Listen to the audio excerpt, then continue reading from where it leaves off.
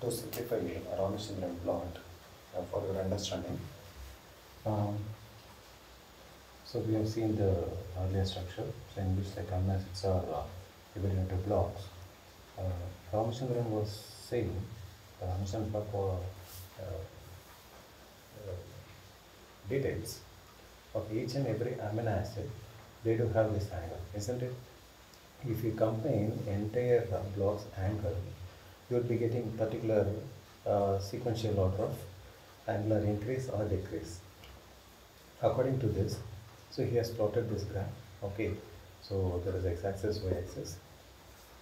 There is 0 degree at the center in this axis, and there will be a plus and there will be minus direction. Okay, so uh, 10, 20, 30, 40 likewise to 180. The same way 180. The same way here also 180.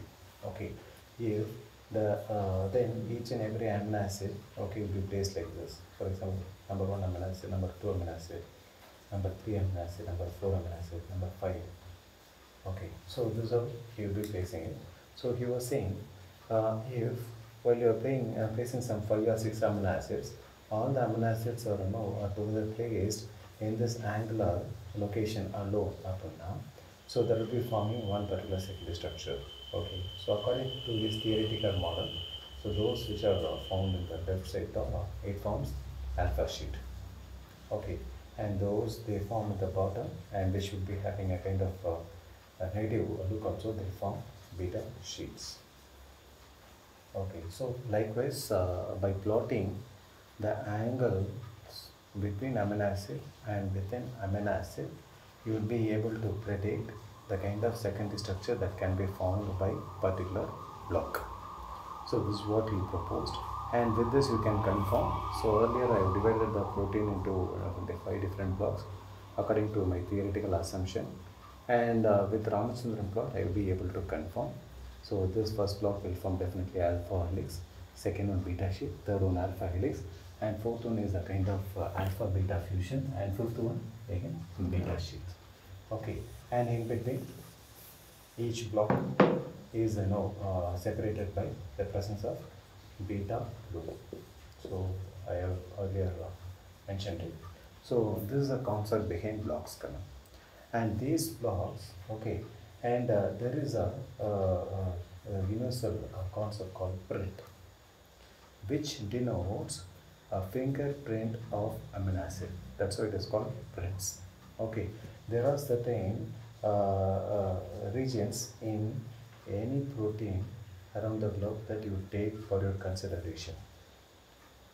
Okay, uh, they may be highly conserved throughout the entire uh, uh, uh, protein uh, family, okay, around the globe, and uh, you would find uh, find those sequences everywhere, uh, every uh, protein.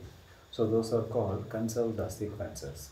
So there are certain conserved uh, sequences present in each and every protein. So those uh, conserved sequences would be used as an identification mark for proteins. Okay, so what kind of secondary structure it forms and uh, where it can be located, whether peripheral or interior region. In the same way, there are certain other conserved sequences which would give particular unique identity to the proteins. Okay, so they would be uh, coming as a muscular protein. And uh, if you are finding certain conserved sequences in a protein definitely they would form uh, some uh, uh, regulatory proteins. So there would be a classification based on the conservation sequence. So that's what we study here in this another concept called print. So basically i have divided the protein into blocks. And uh, within the block i am trying to find the conserved sequences uh, with which i try to find the location of the uh, secondary structure as well as the possible uh, functional role being played in construction of overall tertiary structure and its function in the later stages. And uh, next one is motif. It's otherwise called super secondary structure, uh, in which the secondary structures together form, okay, they form uh, another superficial structure called super secondary structures. So those are otherwise called motifs. They are the uh, primitive forms of tertiary structures what you see. So functional tertiary structure form பண்ணுறதுக்கு முன்னாடி that's what we say motif form. So in which for example these two blocks they together form alpha helix and beta sheet, isn't it? They form one small complex structure substructure and uh, this alpha alpha beta and beta these three four five blocks may form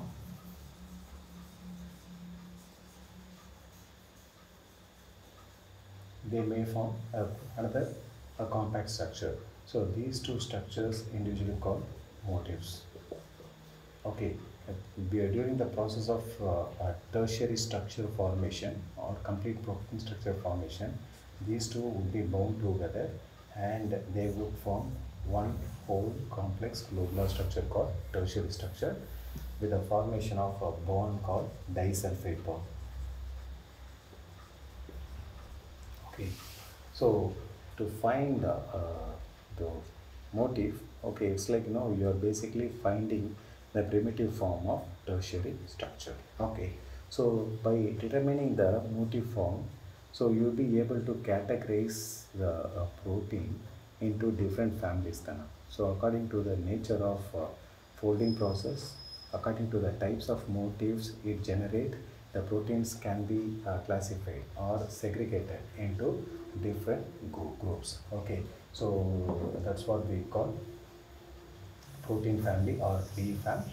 So this will enable you to you know, uh, spot uh, protein and uh, you can predict the function basically. Okay. For example, I have given you one unknown protein. I want you to predict the function. So if you are able to spot a motif in the protein and if you are able to compare the motif with the database and uh, uh, you can find uh, some relative protein families with, uh, with the information you'll be able to predict the structure as well as functions too. Okay, so this is all about uh, secondary structure level prediction using conformation structure level. So uh, next one is the third aspect of conformation structure is tertiary structure formation. To for tertiary structure formation, you have to spot only one amino acid kana, that is cysteine.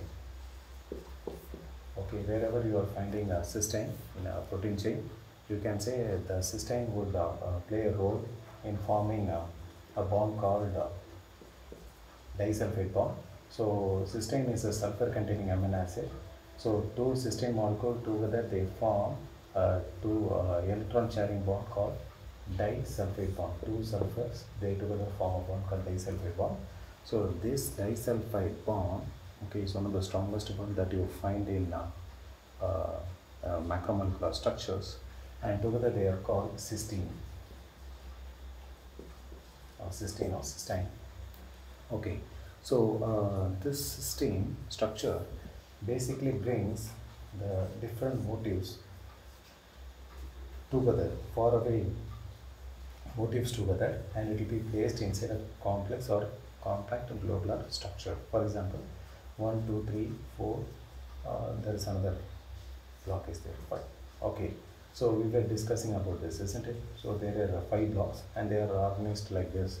So all of a sudden, if you are creating a disulfide bond bridge between 1 and 4, there is one cysteine molecule here and there is one cysteine molecule here. So now the structure will be like this.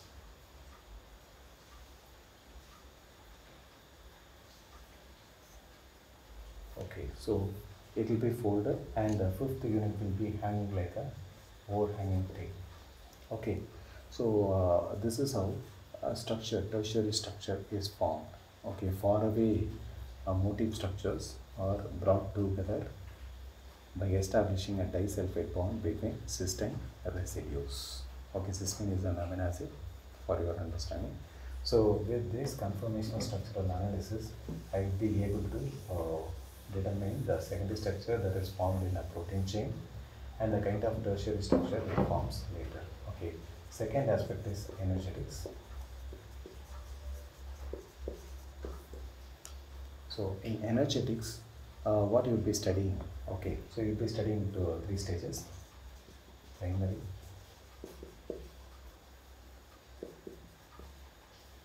transition state, then molten globule okay primary stage protein is in the form of linear chain okay? So this uh, primary stage uh, protein uh, is undergoing the folding process in which it undertakes uh, certain secondary structures and become a stable secondary structure called motif motif number based on okay? So there will be a, a combination of secondary structures they together form a kind of super secondary structure. This is what we call transition state. So uh, during this process the protein will take energy from outside environment. Okay, energy in the form of temperature. And that is taken inside and using the energy, the linear protein chain fold itself and it forms a super secondary structure. After uh, attaining a basic backbone uh, shape, uh, the transition state is further taken into another shape called molten globule, so which is actually tertiary structure so tertiary structure tertiary ஸ்ட்ரக்சருக்கு முன்னாடி stage. Okay, here the energy which has been used to produce the molten globule uh, transition state is stabilized here in the second process. All the unwanted energy present in between the uh, transition state uh, motifs are released into the environment and the unwanted energy is released away now, only necessary energy would be there inside the protein and uh, using the uh, available required energy, a compact protein structure would be formed. So this structure is called molten globule. So this molten globule stage is a you know, kind of prototertiary structure just now I told you. It will undergo further uh, function, uh, structural change uh, during the process of functional requirement When the protein is required to execute a function, only at that particular time this molten globule structure uh, protein will be activated and that will be converted into functional tertiary structure. Okay, so this is what you'll be studying here in this concept called energetics. Kala. So it includes two processes. One is uh, endergonic, energy place பண்றது. Second one exergonic. Okay, so here we will be studying a concept called ontropy. Okay, and another system called ontropy. So ontropy is the total energy okay present in that particular protein at that particular time point. Entropy is the randomness of energy. How much of energy is lost or how much of energy is gained okay uh, during the entire process. By understanding the amount of energy present in the protein, we will be able to predict in which structural form it is. In the same way, while you are uh, predicting the protein structure using uh, software tools, by changing the energy level, you will be able to change the structure of protein also.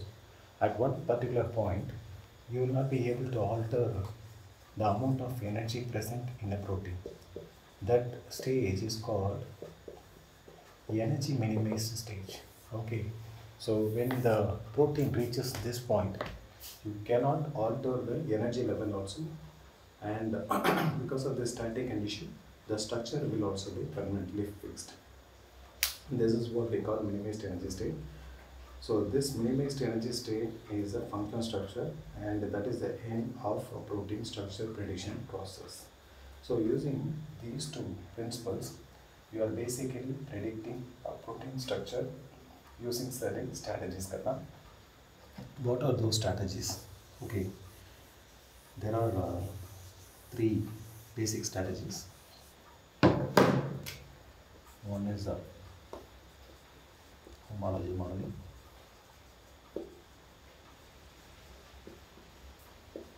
Next one, ab initio. Third one, hidden Markov model. so uh, I'll be precisely saying all these three types. Kana. The homology modeling, what you'll be taking, you will be taking two things Okay, you will be first comparing the protein sequence with the other uh, protein sequences present in the databases. Okay, so by ca- finding the uh, nearest relatives, okay, so உங்க protein கூட இது match ஆகுதோ okay, you will be trying to find the, the protein which will match highly with your uh, protein and uh, if you have structural information about the database protein with this structure you will be able to predict the unknown sequence structure of yours okay this is what we do in homology modeling there are two strategies sequence level uh, comparison and structure prediction. Another one structural level comparison and structure prediction in which you will be finding the secondary structures present in the uh, unknown sequence and uh, we will try to predict the motifs present in the structures. Okay, and with this motif, we will try to find protein families or fold patterns. Okay, by taking this fold pattern, okay, and comparing it with other folding patterns found by other researchers and uh, which are stored in the databases. Okay, so you'll be trying to find a relative folding uh, structures from the computer databases. For example, so uh, you are having a unknown protein sequence and uh, this block, okay, it together forms uh, one motif and this motif uh, you found a particular family or particular folding pattern. What you do, you will compare this particular folding uh, folded uh, structure, okay, uh, with other uh, folded structures from a database. So what you do, you try to find uh, the relative structure of this zone. So if you are able to spot a particular uh, structure, what you do, you will take that structure and you will fit it here. Likewise, you will search for this zone and this block. So by finding the best possible structure available in the global databases and fitting it into each and every block, you will try to predict what whole structure. Okay, so that is structural level search and homology modeling. the next strategy is ab initio. Ab means uh, from the uh, scratch, initio means initiating. From the scratch, you are initiating and constructing a protein, that's what we call ab initio. Here, you are un- uh, trying to understand the nature of each and every amino acid and uh, as we have discussed in the principle part earlier so you will try to find what are the different secondary structures that will be found by a group set of amino acids in the given sequence. Then you will try to study the energy level of each and every block. Then you will try to find so what kind of secondary structures will be found and how they will interrelate among themselves. Okay there is no need uh, to for you to assume the sequential secondary structure formation. For example 1 and 3 they together they may form one sequential structure. So second would be left out somewhere. Okay so 1 and 3 may come nearby. Second will be left out. And the second may establish a, relative or nearby proximity connection with fifth block. And you will find fourth one so altogether they form a whole compact structure. So this is what we uh, do in this ab initio process. So what i have discussed earlier the conformational and uh, energy concept. By implying those concepts in on each and every amino acid you will study what kind of uh, secondary structures will be formed. By understanding the energy minimization level in the unknown protein you will try to predict the tertiary structure too so this is what you do in ab initio prediction and the third modeling is hidden Markov model in hidden Markov model what we do அப்படின்னு பார்த்தீங்க அப்படின்னா uh, there is a universal uh, uh, law so each and everything has a particular hidden uh, information unique information so if you are able to spot that information and uh, you are able to characterize it you can pull out the entire information related to you. that's what uh, you have to understand as hidden Markov model. So what you do, so it may be a individual amino acid or it may be a blocks of uh, particular uh, polypeptide chain. So you try to study uh, what are the unique features present within them. Okay, present maybe a presence of particular three or four amino acids. Okay, which are uh, peculiarly found in only particular protein amino. With that, you can easily say, so definitely this protein would be forming structure like this, or that particular block of that uh, in polypeptide chain would be forming a structure in particular uh, manner. So it's a like kind of you can uh, make an assumption out of it. Okay, so this is what we uh, say hidden Markov model. So using these strategies, okay, uh, by utilizing a third concept algorithm, there are two algorithms. There are plenty of algorithms, but there are two prominent algorithms are there. Chow Fosman, another one. Garrier. Excuse me. Chow Fosman and Garnier uh, algorithm. So these two algorithms are uh, basically designed to uh, fit in the theoretical concept what we have discussed earlier. For example, Chou Fasman algorithm uh, is basically working on the principle of finding the secondary structure blocks in a protein chain. Accordingly, it will help you to predict the structure. Uh, Garnier model is you know, kind of homology modeling process where it will try to uh, predict the structure based on the uh, similarity are based on the conservation or conserved sequences located in the uh, blocks or a particular region of a polypeptide chain. So, so using these models, you will be using these strategies and using these two algorithms, uh, you will be able to uh, predict the protein structure and where it can be implied upon So it has wide range of implications, who would be the beneficiary. For example, in the quantifier uh, people are facing this pandemic situation where people are trying to find the solution for a pandemic uh, causing organism so basically uh, for any disease or uh, disorder there will be a problematic protein if we are able to block the protein's function using some other uh, uh, antagonistic molecule, then you can block the function, isn't it? Okay, here what you do, so you are having a, detail about uh, a particular protein from a pathogen, okay, and uh, you want to block it. Simple. If you are able to design a drug which will go and uh, specifically bind to that particular problematic protein, you can block the function and you can neutralize the pathogen. Okay, to design a drug, first of all, you must know the structure of this protein. Okay, so only with the structure of the pathogenic protein, you can design uh, efficient uh, drug molecule. Okay, using softwares like dock. So there is a process called docking. So famous software is dock, with which you can design a molecule which will fit on your target pathogenic protein. So to, uh, thus you can design a drug for any disease or disorder condition. And likewise, if you want to modify a protein, for example, if you want to modify insulin, uh, which would increase the strength or functionality of insulin protein, first of all, you must know what is the structure and uh, how the structure uh, would be ever uh, constructed. Okay, so how the structure will be constructed. So if you understand this concept, you will be able to manipulate the protein structure according to your need. So uh, ultimately, the beneficiaries will be the public uh, whom are requiring a medical treatment.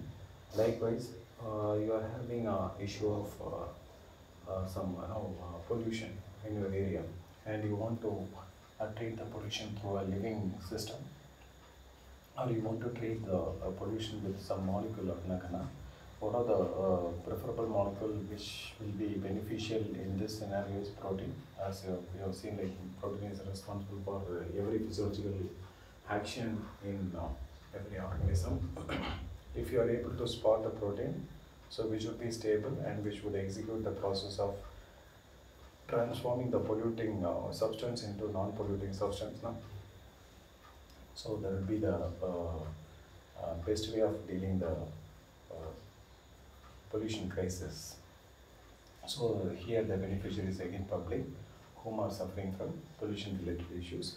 So likewise, uh, there are plenty of applications, plenty of uh, beneficiaries uh, for uh, protein structure prediction. So so far the protein structure prediction is done in InSilico level using softwares. Okay. So these softwares are basically designed using the algorithm, what we have uh, seen, Chou, Fasman and Garnier algorithm. So this Chou, Fasman, Garnier algorithm just have given outline So you'll be able to spot the detailed information in the study material.